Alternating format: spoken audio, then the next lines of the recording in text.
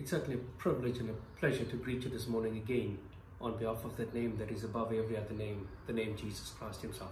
So, hello and welcome to you wherever you're listening from. Thank you for taking this time off to share with us God's precious word. There was a serious conversation that was happening between a barber and his client. Uh, although the conversation was one sided, uh, the barber was very vocal in trying to get his message across. The customer so happened to be a priest, uh, recognized by the outfit that he was wearing. Taking the opportunity to confront the priest and tell him about the goings in the world, the barber says, if there was a God, we would not have so much of hardship in the world. If there was a God that existed, we would not have the spate of killings and rape and, and, and, and, uh, and so on in this world.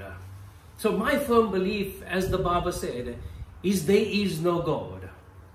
The priest in the hands of the barber with a very sharp razor that was trimming the beard and cutting his hair did not want to say something that would possibly offend the barber and causing a little slip on the blade. He was very quiet taking in the conversation and assessing and listening to what the Barber was saying. The Barber had finished his task at hand. He did a beautiful job, by the way. The priest paid him and thanked him for the service rendered and was stepping out of the barber shop. As he got out the door and he opened the door, and across the road on the pavement on the other side, he noticed a beggar with very long hair, very long beard, very unkempt and very untidy. He turns around and he looks at the barber and he says, well, barbers do not exist.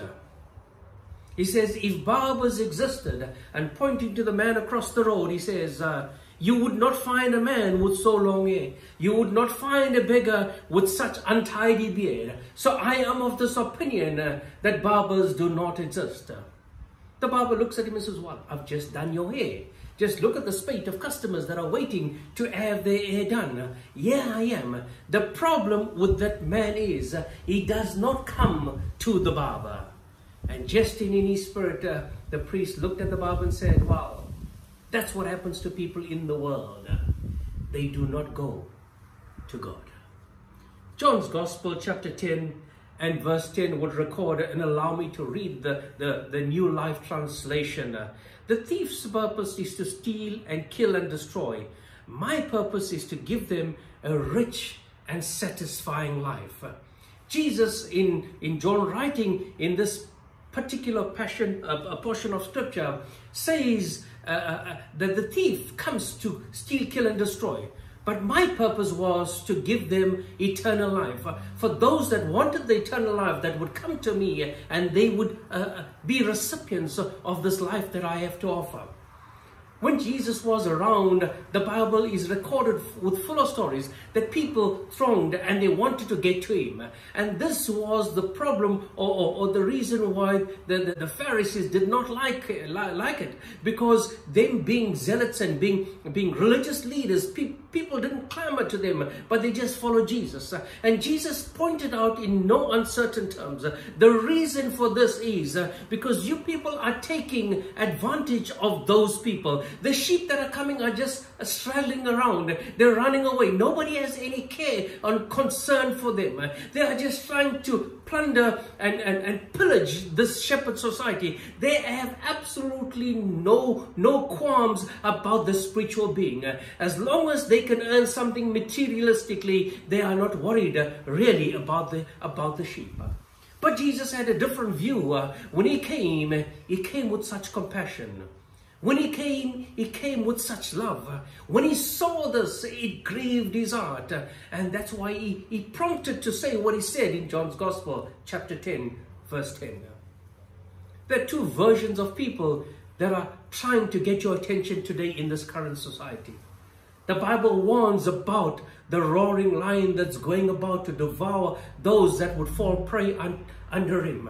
The Bible also further warns uh, that the wolf comes in sheep's clothing. Uh, he will deceive you to try to make you his own. Then the Bible talks about Jesus coming that you could have this full and satisfying life. There's a couple things, differences, very notable that I want to point out this morning to us. Firstly, Jesus has come to cleanse us.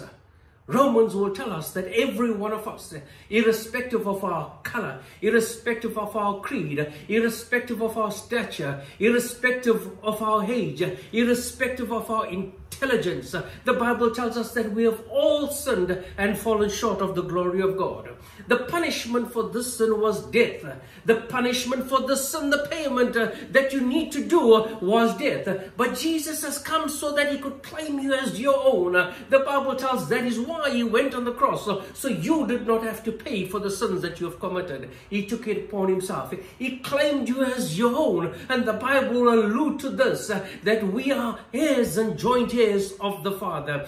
Every bountiful blessings that come from heaven above is destined for you uh, if you are claimed by his son Jesus. Uh, he's come to cleanse you on the cross. Uh, when he hung on the cross there, did he not scream, it is finished? It is finished, meaning I have paid the debt uh, that belonged to society. I have paid the debt once and for all for everyone that has, will commit any sin. Uh, he's come, Jesus has come to cleanse you. Jesus has come to claim you and is coming back for you.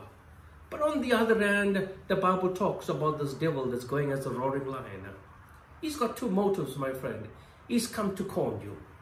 He's come to deceive you.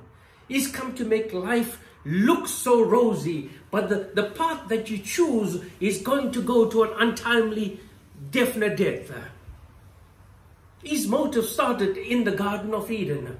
The Bible will tell us when, when God made this beautiful garden for, for Adam and Eve, and, and he told them just one thing, do not eat of that particular tree, the tree of, uh, of knowledge and good and evil. What does the devil do? He cons this couple and he tells them that he will, they, that they will become like God and, and, and all the good things that they were taught against. And yet he deceived them. And you and I know what happened. They were banished from paradise to live into the sinful world. He cons you with, with making things that's, that's unrealistic, that seems very nice and rosy to you. And then he comes and he condemns you, my friend. He's got no place for you for eternity. The end, end result for whatever you do when you follow him is death. And that's it, my friend. There is a notable phrase that I've heard or read some time ago and it goes like this. The devil knows your name, but he calls you by your shame. But Jesus knows your shame, but he calls you by your name. John 10 10 ratifies this so beautifully. The devil has come that he could seek to kill you, destroy you, to con you, and to condemn you. But Jesus, on the other hand, says, I have come to give you a satisfying life. I have come to cleanse you. I have come to claim you, and I'm coming back for you. We are sons and daughters of the Most High God. Today we beseech you to search your heart and see who you're serving. You can only serve one master today, the Bible says. You can either choose to serve God or follow the path that will ultimately, ultimately lead you to death that the devil has to offer. The devil has two motives to con you and to condemn you. But Jesus wants to give you life and to the fullest. Assess your situation right now and try to see which path you are headed right now. Are you being conned and condemned? Are you, are you being called out by your shame today? But Jesus wants to call you by your name. Say, son, daughter, I have a life, a very satisfying life for you, if only you would come to me. The Bible says, Come unto me, all you that are labor and heavy laden, and I will give you rest. I will give you rest. Are you looking for that rest today? Only Jesus can give that to you today. Shall we pray? Perhaps you don't know who Jesus is this morning. And if having listened to this short message, you're wondering, uh, who is this Jesus really? Well, he's come that you could have life and have it more abundantly. The Bible tells us that he left heaven to come to pay for your sin.